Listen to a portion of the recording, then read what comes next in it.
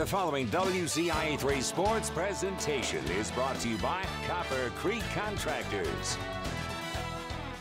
This is the Copper Creek Contractors, your Illini Nation postseason special. March Madness is officially here. Welcome to the Your Illini Nation postseason special. I'm your host, Andy Olson. Bret Beherns will join us live from Minneapolis coming up. Courtney Layne Brewer is here in studio as well. Reports from both on the way, but we start tonight with our very first look at the Big Ten tournament bracket. 14 Big Ten teams all in one place. Minneapolis all vying for one title. The action already underway in the Twin Cities. Rutgers and Maryland tipping off about an hour ago. Michigan and Penn State will follow. Eight teams will be eliminated from the tourney by the time that Illinois starts things out on Friday before they even take the court. That's the benefit of being the number two seed and not playing until the quarterfinals. The Illini will face the winner of the 7-10 game between Iowa and Ohio State. Of course, they just beat the Hawkeyes in Iowa City on Sunday. After 20 league games, Purdue only loses three to win its second straight outright regular season championship. The Illini finished three games back, followed by Nebraska, Northwestern, and Wisconsin. This is the third time in the last four years Illinois has won at least 14 Big Ten games. Let's go live to Minneapolis, where WCIA3 Sports Director Bret Beherns joins us from the site of the Big Ten tournament with more on a first-time host city. Andy, greetings here from downtown Minneapolis and this beautiful backdrop behind us as the Twin Cities play host to the Big Ten tournament for the first time in what will be the final time for this tournament as we know it, as the four West Coast teams are set to join the league next season. Target Center, just down the road from where I'm at here on the banks of the Mississippi River, is the sixth different arena in the 26 year history of the event and the home of the Timberwolves and Lynx of the NBA and WNBA. For years, the BTT went back and forth between Chicago and Indianapolis. Then the conference decided to take its event to Washington, D.C. and New York City. No word on where it will be located next season, but the Orange and Blue say location does not matter. They are out to win a championship. I feel great. You know, I feel like we're a Final Four championship team, so um, we're going to keep uh, keep building, see where it takes us. I think we're in the best position we could be. You know, God has a plan for everything, and um, the games that we lost, you know, we're not looking back and dwelling on them. Uh, you know, it's winter go home now, and um, and we're ready to go on a run. So. The Illini last won the Big Ten tournament title in 2021. It will be interesting to see what the crowds look like here in Minneapolis this weekend. The closest Big Ten school other than the Gophers is Wisconsin, and that is about four and a half hours away. Andy? Yeah, Bret, that's what's so nice about having the event in Chicago or India. A lot shorter trip for all the fans. But regardless of how many people are in the stands, the Illini playing good basketball as of late, Bret, and they feel like they have a shot to be playing on Sunday about it. They've won four of five games to end the season, and that one loss was to Purdue. They had a second half lead in that game, so they feel like they are playing for some momentum, and they could see the Boilermakers once again on Sunday if the seeds hold, and a lot of people think this could be a really chalky Big Ten tournament. A big reason for the team's success this season has been the offense. It's one of the best in the country, ranked fourth in KenPom in adjusted offensive efficiency. That's the highest it's been since the 2004-2005 Final Four year when Illinois finished third in the country in that metric, with three guys shooting at least 38% from three, and Terrence Shannon Jr.'s ability to get going in transition, along with booty ball from Marcus Domask. The Illini have multiple threats to score that should keep them in games in the postseason.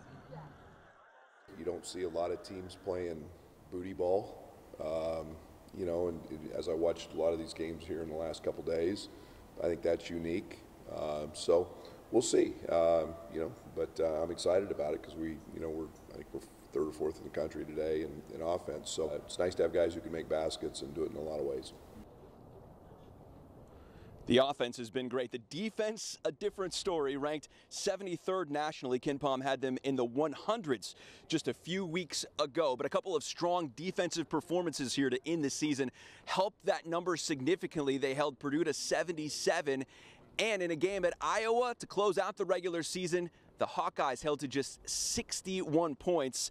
Andy, much more to come here from Minneapolis. Just 48 hours from right now, the Illini will be on the court. I am looking forward to it. All right, Bret, can't wait to hear from you more later. The All Big Ten first team goes to six this year. Zach Edey and Boo Buie, unanimous selections by the coaches and media. Terrence Shannon Jr. and Braden Smith also first teamers, but there was a split on Marcus Domask and Jahmir Young. Domask gets the coaches nod, Young the media. This is the, just the ninth time in program history and third since 2006. The Illini have had two first team players in the same year. Domask is second team media, while Coleman Hawkins gets a third team nod. No surprise, Edey, the player of the year, just the fourth player in conference history to win the award in back to back seasons. Matt Painter and Fred Hoiberg win co coach of the year honors, while Penn State's Ace Baldwin Jr. is named the defensive player of the year. All right, time for our first time out here on the Your Nation postseason special, but we've got a lot more to come as we chat with bracketologist Brad Evans about where the Illini stand heading into Selection Sunday and what they have to gain in Minneapolis. Plus, it's been a fantastic season for Terrence Shannon Jr. on the court, but a rape charge in Kansas landed him in court back in December. It's been months since we've heard from the senior how that might change this week.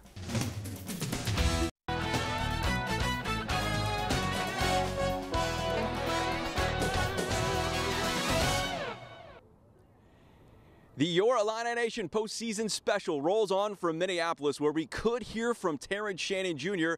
for the first time since December. The Illini senior has not been made available to the media since then, after he was charged with a felony rape case in Kansas following an incident during the Illinois football game back in September. Unlike the regular season, the Big Ten and NCAA tournaments have open locker room policies. We'll see if Shannon is in that locker room come game time for the Illini and following the game. The charge comes from that alleged incident on September 9th at a bar in Lawrence, Kansas. Shannon was in town to watch that Illini football team play the Jayhawks. Authorities were looking into what happened for months, but no formal proceedings happened until December. That's when the projected All-American was issued a warrant for his arrest, then suspended from all team activities, missing six games. After filing a civil suit against the university, Shannon's suspension was lifted after he got a preliminary injunction on January 19th, allowing him to return as a full participant on the court. The Illini's leading scorer has heard it all from opposing fans since getting back in the lineup and on the court. His teammates say he has handled it all in stride. It was easy to tell. It, it wasn't. Uh, it wasn't easy for him to just get right back out there and make an impact right away. Kind of had to ease into it, but I, I think he's done a pretty good job getting back out there and, and playing at his pace and uh, doing the things he does well, which is getting out in transition, bringing speed uh, and defensive intensity. Shannon's next court date in Kansas in his criminal case is scheduled for May 10th. Shannon's 21.6 points per game, a big reason why the Illini are a projected four seed in next week's NCAA tournament. This is a look at their team sheet, a key tool the selection committee uses when deciding where to slot teams. And as Andy shows us, you've got a guy who knows all about where the Illini might land in next week's NCAA tournament with bracketologist Brad Evans. All right, Bret, thanks so much. Back here in the studio, happy to be joined now by Brad Evans from Live on the Line and thegamingjuice.com, where he gives out picks daily. We will get to your picks in just a minute, Brad, for the Big Ten tournament. But want to start with you as we're talking about March Madness, everything coming up here for the Illini and the Big Ten. Overall in the conference, who's got the most to gain and most to lose this coming week? Well, Merry March Madness, my friend. It's the greatest time of the year. I will say this. a couple of teams that have the most to gain play each other in their opening round matchup, Ohio State and Iowa. I have them right now firmly on the bubble. Most to lose, really, I think it's those two teams, and, and maybe Michigan State as well. A team that, if they do wind up on the wrong side of the ledger against uh, the hosts, essentially, the Minnesota Golden Gophers, Woo! It's going to be a sweat session on Selection Sunday. Better have the Old Spice ready there, Tom Izzo. You may need to layer up. All right, let's focus on the Illini. Right now, it seems like they are a consensus number four seed. All these outlets are predicting the NCAA tournament. You see them solidly as a four? I have Illinois as the highest number four seed. So obviously there's some movement there. There is a very, very, very slim chance they could sneak in to a back end number two seed if everything breaks right. I think when um, you know everything settles dust wise, you're looking at probably a back end number three seed. They're going to be solidified as a four. I doubt they're going to slip to a number five. Let's take a look at your Big Ten tournament bracket now as we Oh, start to yeah, break this do thing down. I want to know, starting out, who do you think could be the surprise team of the Big Ten tournament this year in the next couple days? All right, well, I, I guess a surprise team of sorts because I got them winning a couple games. Maryland. This is honestly a straight Wisconsin fade. Uh, the Badgers have been so bad. They're north of number 300 EFG offense, north of number 300 in the country EFG defense over the last four weeks. They're going to be bounced in round one. They're going to be bounced in their opening round game of the Big Ten tournament as well. In the semifinals, you have it looking pretty chalk. Illinois, Purdue, Nebraska, and Northwestern moving on, leading to a Purdue Illinois ah. final. Ah. What do you make of this matchup, Brad? Oh, part three, right? It's so hard to beat a team in the same season three times. And Illinois has been right there at the threshold of knocking off Purdue. I think the third time is going to be the charm for Illinois.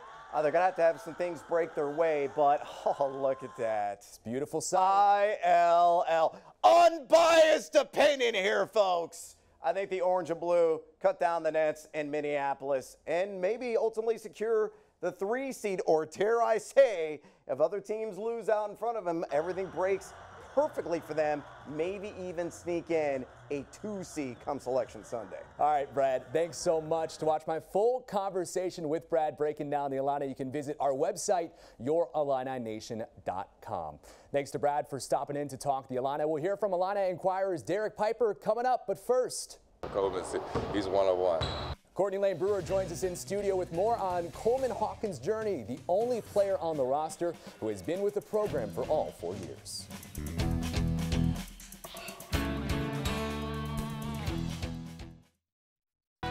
The Copper Creek Contractors Your Illini Nation postseason special continues now. The transfer portal has been a key piece to Illinois basketball's success the past few years. The Illini could field an entire starting lineup on this year's team of guys who did not start their career in Champaign. Four of the top five scorers are transfers as well. WCIA 3's Bret Beherns rejoins us live from Minneapolis where Dain Dainja, the Big Ten tournament is an opportunity for him to go back home, Bret.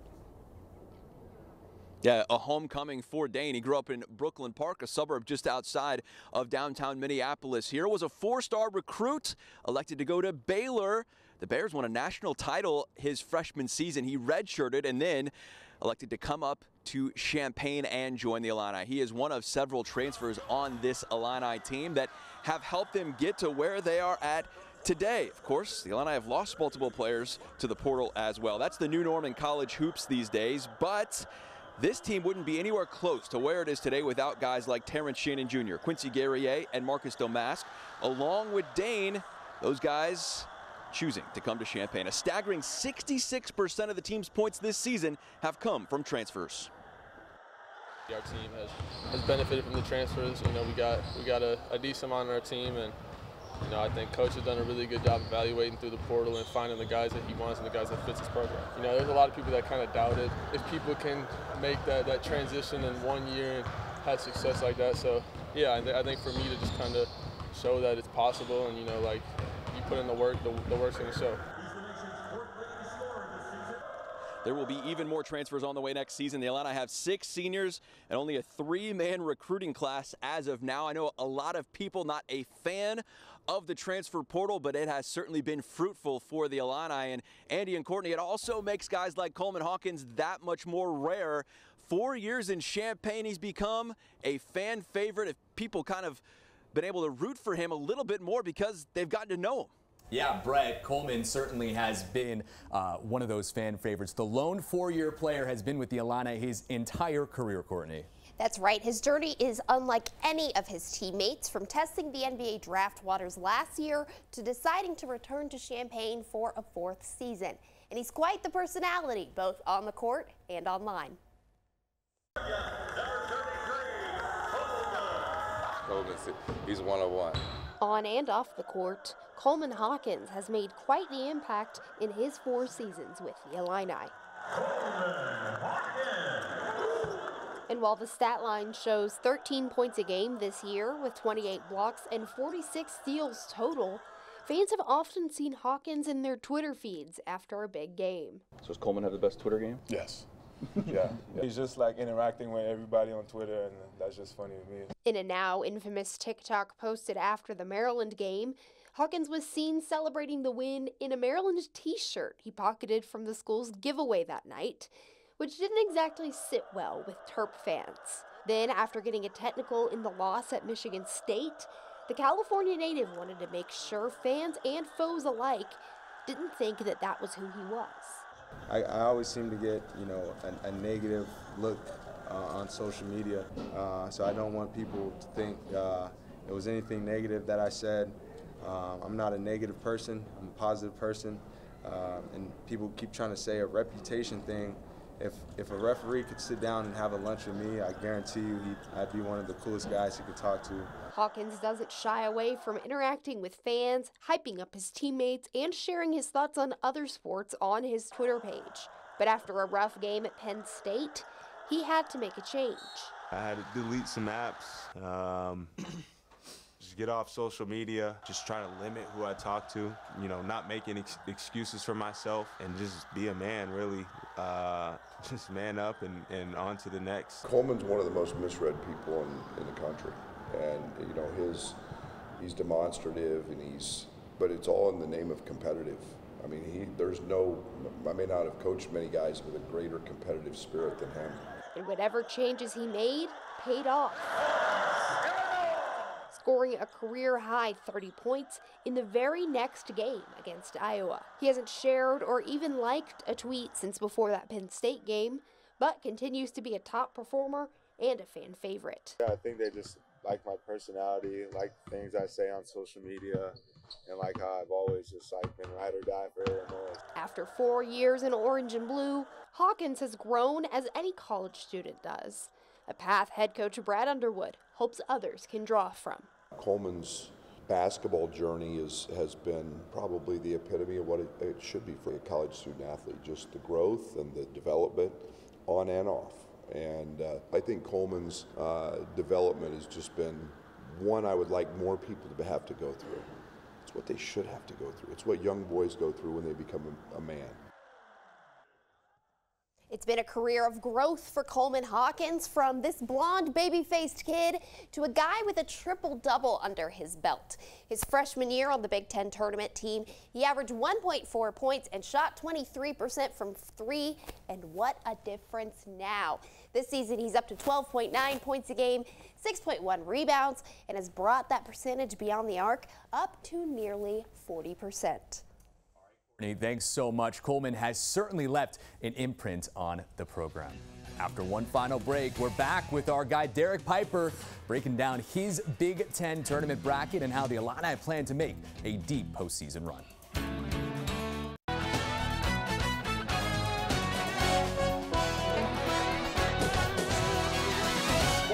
To the Your Illini Nation postseason special. So happy to be joined now by Illini Inquirer's Derek Piper. He's joined us all season on the pregame show. It has been a long, fun season, Derek, but now looking ahead to the postseason. Illinois coming off that win against Iowa. Uh, good defensive performance, probably one of their best of the season. Perfect time for it, it seems like, as they go into winner go home territory. Yeah, absolutely. I know that's what Brad Underwood has really been preaching here recently is trying to get that defensive effort and engagement really amplified because we know this team can score at a high clip. They're one of the top five offenses in the country. They got a bona fide big three, but defensively you got to be able to get stops, especially late in games. And look at the way they were able to buckle down against the Hawkeyes to get a quad one win. And hopefully, if the defense pairs with the offense, this has a chance to be a high ceiling team and one that'll be tough to knock out come tournament time. They know that from experience these past two years that it just takes one game and you're out of this Big Ten tournament? And do you think they're primed for maybe a deeper run than these past few seasons?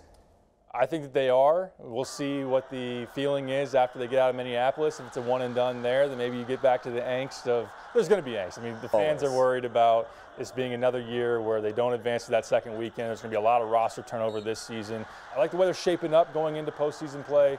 But of course, knowing that it can be a possession here, possession there, a missed rebound here, uh, and just some mistakes that over the course of a game can really be the difference of advancing or getting sent home. And I do think that Brad's emphasis of that should have this team's attention. We'll see what that looks like starting this week in Minneapolis. I want to get first your thoughts on Illinois' side of the bracket. Like I've said plenty of times, like people have pointed out, just one team that they have lost to all season on their side.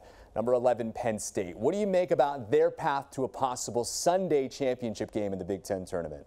I think overall it's pretty favorable. Now, I do think that that first matchup there, whether you're going to draw Ohio State or Iowa, you'll get a desperate team, a team with that's a battle of Bubbleville right there. Yeah. I do have Illinois moving on against Ohio State and then matching up against Indiana here in the semis. All right, let's move on to the championship now. Just like Brad and like just like a lot of people, you got Illinois and Purdue in that final, but is third times the charm for the Illini?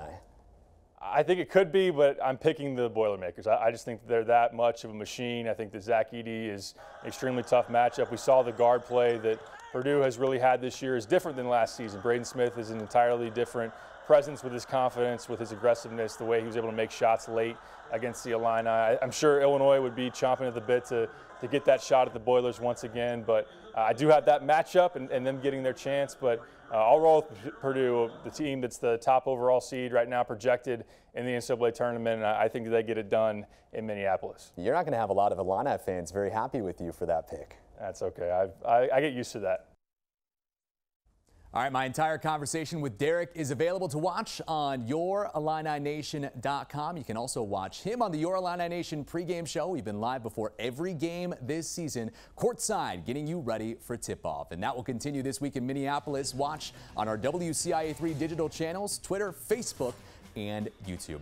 All right, that's going to do it for us tonight on the Your Illini Nation postseason special for Bret Beherns, Courtney Layne Brewer, Brad Evans, and Derek Piper. I'm Andy Olson. Good night and enjoy the Big Ten tournament. This has been the Copper Creek Contractors Your Illini Nation postseason special. Brought to you by Copper Creek Contractors.